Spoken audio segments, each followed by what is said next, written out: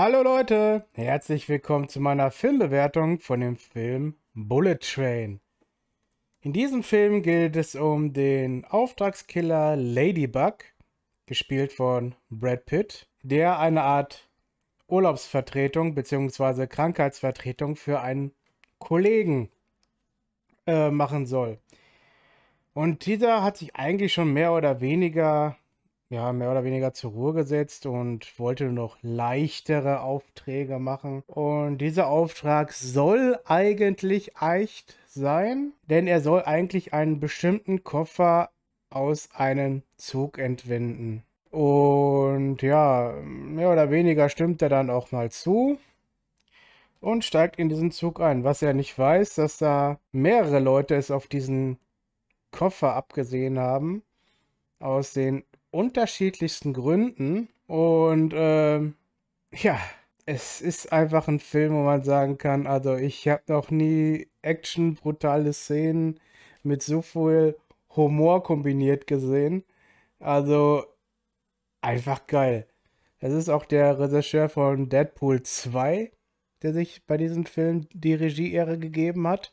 Und wenn man ja schon Deadpool kennt, dann weiß man ja schon, welche Richtung es geht. Nur dieses Mal ist es nicht auf Marvel Superheldengedöns konzentriert, sondern auf ziemlich verrückte Auftragskiller, Mafiosis, Kartellleute, dies, das. Also da sind ja so einige Kombinationen, die da in diesem Film da zusammenkommen, die einfach nur genial sind.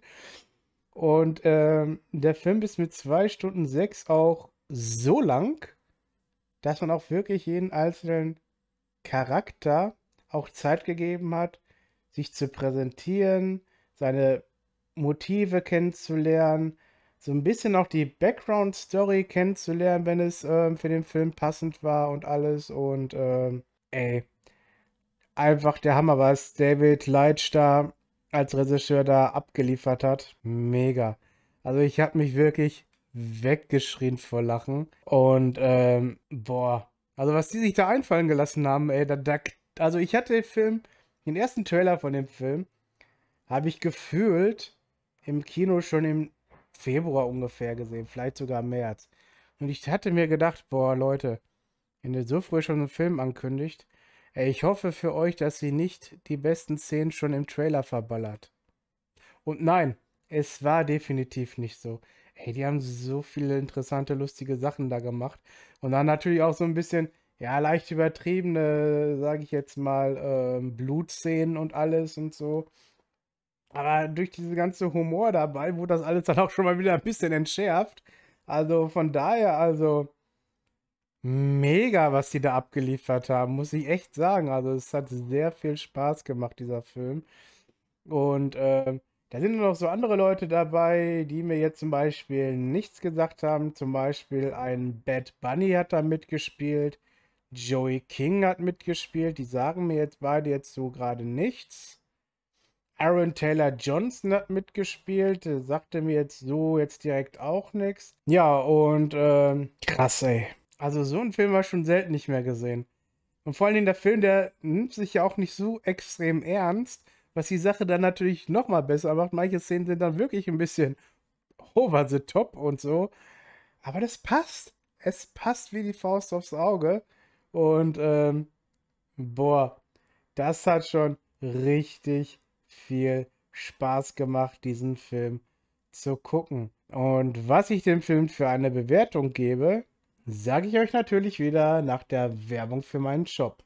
Hallo Leute, hier ist der MC Rossi Fanshop. Hier gibt es vieles von euren Lieblingsstreamer und Content Creator. T-Shirts, Turnbeutel, Hoodies und vieles, vieles mehr. Geht auf den Link in der Videobeschreibung und holt euch eure Produkte. Hier gibt es jede Menge. Schaut es euch an und kauft fleißig ein. MC Rossi Shop. Alles, was ihr braucht. So, da sind wir wieder. Ja, also zusammengefasst, der Film hat Humor, der Film hat Action, der Film hat eine gewisse Art von Brutalität. Der Film ist durchgeknallt und kreativ auf einer gewissen Art und Weise. er hat ein paar Schauspieler, die man kennt, aber er hat auch viele Schauspieler, die jetzt mir persönlich jetzt nichts gesagt haben, beziehungsweise die mir noch nicht so ins Auge gefallen sind. Was aber den Film nicht schlecht macht. Der, das macht den Film absolut nicht schlecht. Die Charaktere, die harmonieren so gut zusammen. Das ist richtig, richtig gut. Und auch der Regisseur hat echt eine absolute Top-Leistung abgeliefert. Also, wow. Also, den Film sollte man sich unbedingt angucken. Und deswegen gebe ich dem Film zwischen vier und fünf Totenköpfen, weil der Film wirklich richtig gut ist, richtig super ist. Humor hat der, der hat alles, was man für diesen Film braucht. Ja. Nächste Woche geht es in den Film Nope. Mal schauen, was der so kann. Den gucke ich mir mal in IMAX an, so wie ich gesehen habe, ohne 3D. Aber es muss ja nicht immer ein 3D-Film sein. Bullet Train war auch nicht in 3D und hat auch Spaß gemacht. Ja, das war's für diese Woche. Ich wünsche euch noch einen schönen Tag. Bis demnächst.